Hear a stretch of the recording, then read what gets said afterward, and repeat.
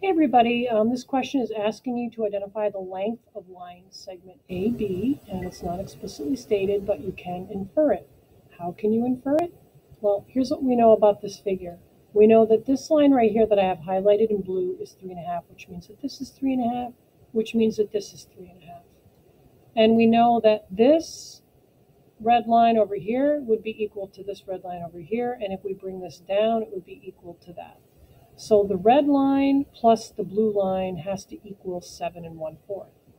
That means that if we subtract the 3 and a half, in other words, the blue line, from the entire thing, which is 7 1 fourth, we should be able to get this, this piece right here, which is not 7 and 1 fourth, it'll be less than that.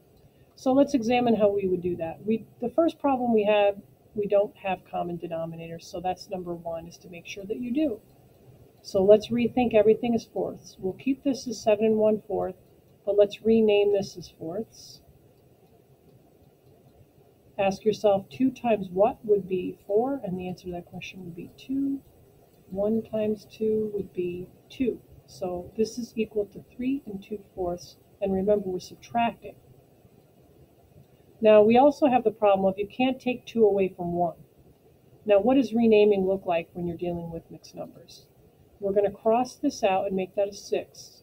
But the 1 that we're taking away from that doesn't disappear. In fact, I'm just going to write it down here. 4 fourths is equal to 1. Why are we choosing 4 fourths and not 3 thirds or 5 fifths? Because we're working with fourths. Now, if we add the 4 fourths with the 1 fourth that we already have, how many fourths is that? And the answer is it's 5 fourths. Now, something that'll work every time whenever you come across this kind of situation is if you just quite simply add the, this number, the denominator, and the numerator. Anytime you're doing a renaming, that will always work. 4 plus 1 gives us 5. It is the number we have here. So you cross that out and you make it a 5.